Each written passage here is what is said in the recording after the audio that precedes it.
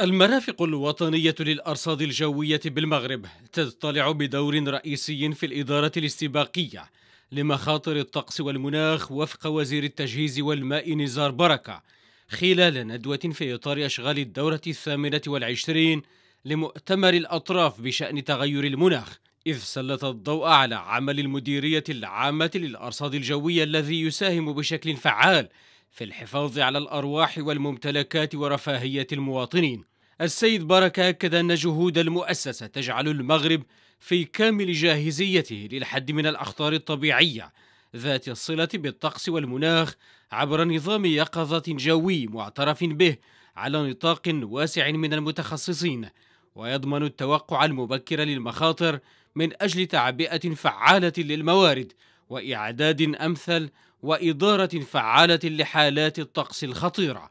وأشار وزير التجهيز والماء إلى أن تغير المناخ أصبح اليوم يشكل واقعا ملموسا يجب أخذه بعين الاعتبار على جميع الأصعدة مشددة على أن التصدي لهذه التحديات يستلزم اليقظة الدائمة وضرورة الانتقال في مفهوم إدارة الأزمات القائم على رد الفعل إلى إدارة معرفة المخاطر القائمة وعلى الاستباقية على أساس علمي وتكنولوجي. ويشارك المغرب في أشغال كوب 28 بوفد رفيع المستوى. ترأست صاحبة السمو الملكية الأميرة للا حسناء رئيسة مؤسسة محمد السادس لحماية البيئة. ويضم وزراء وممثلي مؤسسات عمومية والقطاع الخاص وكذا القطاع المصرفي إلى جانب فاعلين من المجتمع المدني.